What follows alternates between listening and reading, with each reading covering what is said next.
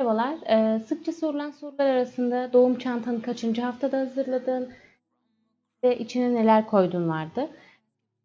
Şöyle söyleyeyim ben 30. haftamda hazırladım. Bazılarına göre erken olabilir ama e, şöyle 34. haftamda erken doğum riskim vardı. Bence 30. haftada hazırlanmaları yani evde bir köşede durabilir yani bir, bir sıkıntı olduğunu sanmıyorum. Olacağını da sanmıyorum. Çantamın içine ne koydum? E, bebeğim için bir tane hastane çıkışı almıştım zaten. Sadece onu kullandım. Onun dışında iki tane çıt çıtlı e, body vardı. Yani hani çıt çıtlı takımlardan koydum. Hani iç sıvını, şapkası, eldiveniyle beraber. Bir tane tulum şeklinde bir takımı vardı. Onu koydum. Ama onların hiçbirini giymedik. Zaten çok uzun sürede hastanede kalmadım. Ki kalsam da hani zaten kusmuyordu.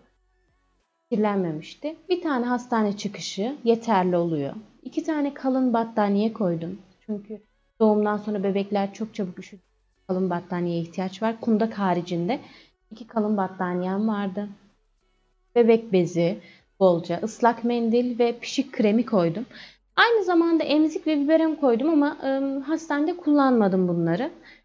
E, onun dışında ne söyleyebilirim? Pişik kremin Bepantol kullanıyorum bu arada. E, bezimde Molfix aldım. Kendim için de e, bir tane gecelik aldım. Alt üst. Hasta bezi, çorap koymuştum. Has, e, terlik mutlaka terlik olmazsa olmaz zaten. Terlik var. Başka bir şey kullanmadım. Ama bir tane de yedek e, bir kıyafet. Hani hastaneden çıkışta yok ben pijamayla eve gidemem diyorsanız ya da çocuğun kontrolleri için hani ben hastanede pijamayla gezemem diyorsanız bir tane de ne bileyim hani bir eşofman tarzında bir şey olabilir. Alabilirsiniz. Yani ben koymamıştım. Giydiğim hani hastaneye gittim pantolonla geri gelirim diye düşünmüştüm. Ama e, suyum erken geldiği için pantolonumu giyemez duruma geldi. O yüzden e, öyle. Bir de şey yaptım. Olur ki hani isterlerse diye e, bütün bebeğin kıyafetlerini yani giydirilecek doğumdan çıktığında hemen giydirebilecekleri kıyafetleri, bezini, kendim için olan bir tane bez koydum. Bunları kundakta hazır bulundurdum. Eğer hani isterlerse dışarıdaki kişiden onlardan alsınlar diye. Başka bir şey koymadım çantama. Zaten dediğim gibi 3.30'da çocuğum doğdu. E, gündüz 11.30'da 11'de hatta 11.30'da değil 11'de çıkış yaptım. İhtiyacım olmadı. E, doğum çantamı da valizim vardı. Kırmızı küçük valizim.